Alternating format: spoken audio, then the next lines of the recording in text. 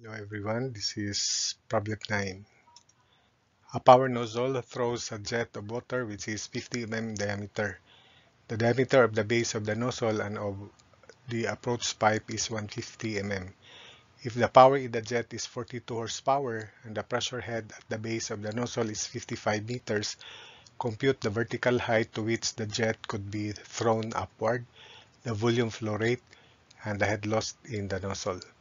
So this is the situation. We have a nozzle here and it projects this uh, jet of water to height h. Then these are the information. So first for the vertical height to which a jet could be thrown upward, uh, we have to write energy equation first between the base B and the nozzle tip N. So take note there's no distance between B and N, so that is negligible in this problem here. So the datum should be through B, elevation 0, and it also passes through N because the distance between B and N is not mentioned or in this case we neglect it. So velocity head at B plus pressure head at B plus elevation head at B equals velocity head at N square Uh, velocity head at n plus pressure head at n plus elevation head at n plus head loss between B and N. The head loss between B and N is also the head loss in the nozzle. So because this is water, so QB equals QN, so that means I will not mention pi over 4 anymore. 150 square times V sub B equals 50 square times Vn because anyway pi over 4 can be cancelled. So that means V sub B is equal to Vn over 9. Substitute into that equation. So V sub n over 9 quantity square over 2g plus 55 pressure head at is 55 elevation head 0 equals V velocity head at n plus 0 pressure head because it is exposed to the atmosphere elevation head at n is also 0, then head loss from B to N.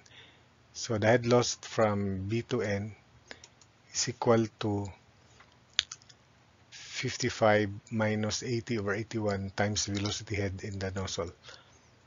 Since the power horsepower in the nozzle is given and the only uh, energy available at N is the velocity head at the nozzle tip, so horsepower at N is Q gamma water velocity head at N over 746 if we express gamma in newtons per cubic meter. So 42 equals pi 0.025 the uh, radius at the nozzle tip square Vn that's discharge then gamma water 9810 velocity head at N the only energy available at the nozzle tip over 746 solving for Vn we'll get Vn equals 31.72 meters per second. So therefore we apply kinematics here to solve for h we have velocity final which is zero. We call this Vn velocity final zero. Remember from dynamics velocity final square equals velocity initial square minus 2gh so 0 square equals initial square minus 2gh. Then we can compute h equals 51.28 meters. Then having found h, we can now compute the volume. Having found Vn, we can now compute the volume flow rate or the discharge pi 0.025 square times 31.72 and times 1000 to convert it to liters. So the volume flow rate or the discharge is 62.28 liters per second. And finally, the head loss in the nozzle, uh, we already established the equation. So head loss in the nozzle 55 minus 80 over 81 times 31.72 square over 19.62 velocity head in the nozzle. So the head loss in the nozzle is equal to 4.351 meters. So I hope you were able to follow the solution.